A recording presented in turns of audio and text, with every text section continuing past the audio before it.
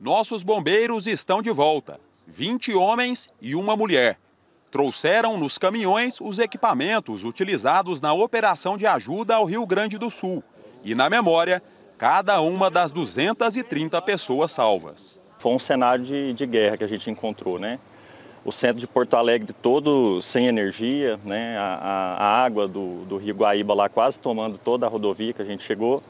E a gente foi ali, foi o momento que parece que caiu a nossa ficha, né? da onde que a gente tinha encontrado ali um cenário de devastação.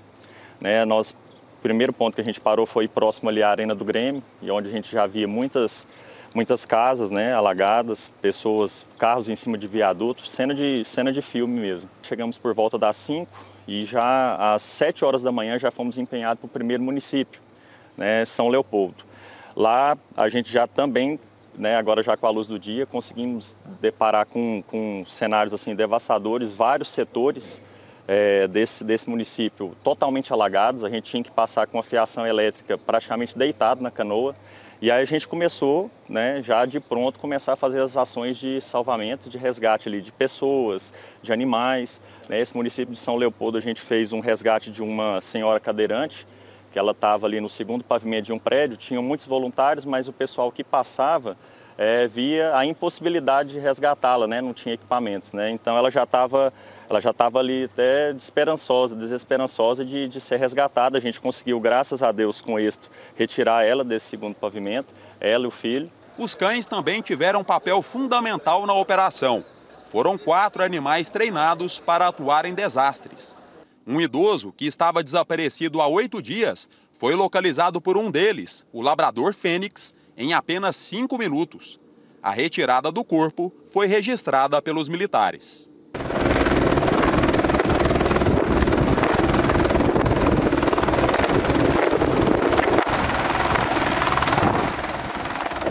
Existe uma, uma projeção né, de que um cão, né, um binômio, vai fazer o serviço aí de 10 militares, aproximadamente, que é a área né, que, esse, que esse cão consegue farejar e sentir ali qualquer rastro de odor. Né? A nossa função é auxiliar.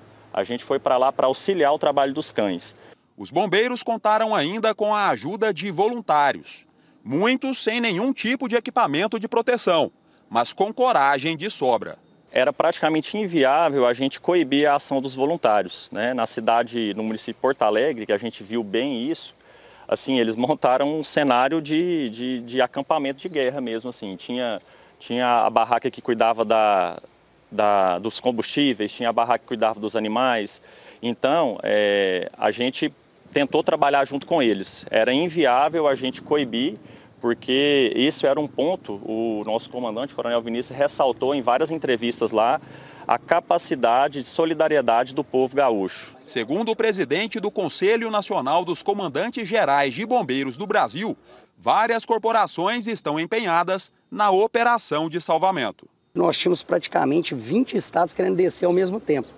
Isso pode causar um certo desconforto, porque as equipes, pelo padrão internacional e nacional que nós adotamos na diretriz, ela tem que chegar autônoma.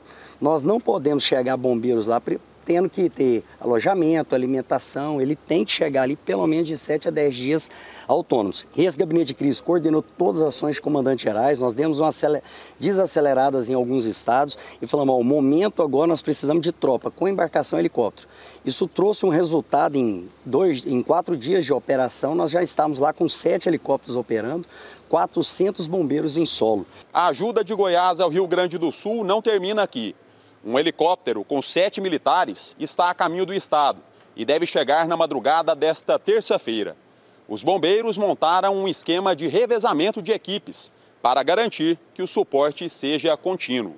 Esses bombeiros, se dependesse deles, eles queriam passar até o dia que terminasse, mas pelo protocolo internacional, de 7 a 10 dias é o máximo que o operador pode ficar num desastre, para não ter nenhum tipo de fator psicológico. Eles não queriam ter voltado, mas pela questão do protocolo, nós fizemos o retorno para fazer um revezamento.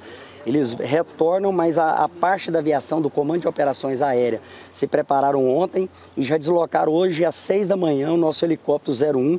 Ele passou por Uberlândia por volta de 9 da manhã, 11 horas ele estava, 10 horas, por volta de 10, 10 e meia estava em Bauru. Acredito que a gente fica ali no sul, já na, na região mais Paraná, Santa Catarina, ali mais próximo, até o final do dia.